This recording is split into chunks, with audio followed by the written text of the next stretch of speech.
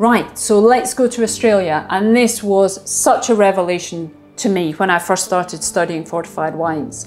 It's called Rutherglen Muscat. It's made in Rutherglen in Victoria. And this is another fortified wine that is all about oxygen. So again, you've got your toffee, your chocolate, your caramel, your dried fruits and your nuts. But this is made from a muscat variety uh, of grape.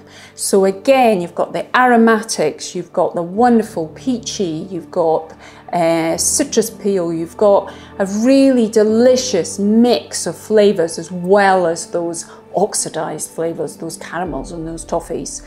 And it's also quite highly high in acid and what that means is it's really refreshing so these are super lusciously sweet wines that it doesn't feel as cloying in the mouth because that acidity stops it being cloying. Absolutely delicious dessert wine. So you can learn a lot more information about all these different types of wines at howtoenjoywine.com. And I'm Yana.